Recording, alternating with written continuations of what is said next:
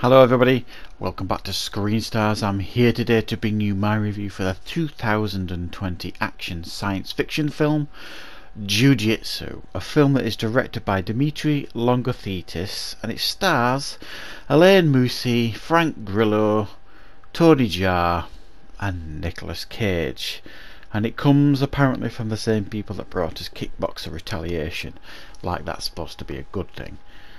Right, what is this film about? I don't know. Is this is the best answer I can give you, but I'll try and give you an idea of what this film is going for here. It essentially focuses on a group of warriors.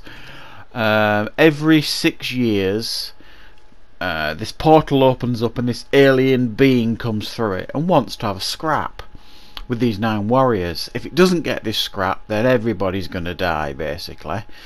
Um, so it's that time. It's that six years. It's come through this portal. It wants a good scrap with these warriors. Um, and Nicolas Cage, Tony Jaa, Alain Moussi, and Frank Grillo are part of these warriors, and that's your story. That's that's best basically what I can glean from this film from watching it. And boy, oh boy, did I struggle to get through this film. I'd heard this film was bad. Um, I'd seen a couple of reviews. Uh, I just didn't expect it really to be this bad. I thought, well, I'm sure the story's going to be a bit rubbish, but I'm sure the martial arts will be good. Look at who's in it, for goodness sake. You got Tony Jaa, you know, you've got Frank Grillo, Alain Moussi, who is, you know, he might not be a great actor, but he's a talented martial artist. You've got these great martial artists in this film, and you've got Nicolas Cage to chuck into the mix there's got to be some uh, fun here somewhere. But genuinely, I really struggled to tell you anything I enjoyed about this film. Really, really struggled. Um, it's just an odd martial arts predator rip-off, really. Um, that it's just fu- it's just full of these weird scenes that are tied together that make no sense. Um, like these weird interrogation scenes where Alain Moussi's character has lost his memory. Um, so you get these weird interrogation scenes, and you get these weird fight scenes thrown in with these warrior pals breaking him out from this military place with the most inept soldiers known to man because they're getting battered by Tony Jaa and others.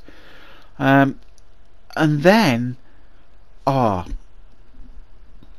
I don't know. I, have got to be honest. It's it um it dulls your brain this film to the point where you don't struggle. It's almost like you know Clockwork Orange. You know when his eyes are propped up and he's forced to watch things. That's honestly how this film felt to me by the end. I really struggled with it. Um, there was slight amusement when Nicolas Cage turned up.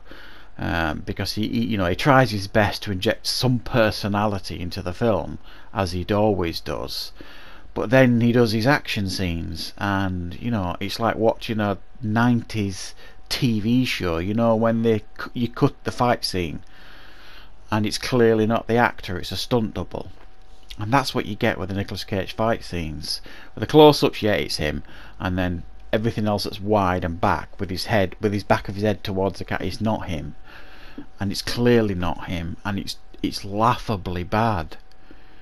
And for the fight scenes for these talented martial artists that you have in this film the fight scenes are so poorly put together.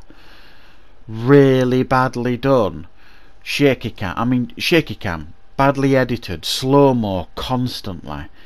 Um, it's just really hard to follow you've got some of these wonderful martial artists and you you you put them through this and you you create fight scenes as poorly as this I can't think of one that stood out. And if I did, if it did, my my brain had been numbed by that point. Um, the the alien design is interesting, but there are many many sequences where you could just see it's a guy in a suit, a rubber suit mainly. Um, and I just kept thinking, what what's Frank Grillo doing in this film?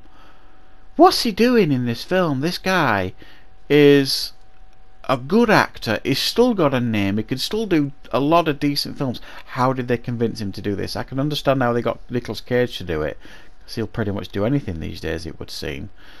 Um, I, d- I don't understand how they can have this talent in this film and deliver a film so poor that you're constantly scratching your head watching this film thinking okay what's going on?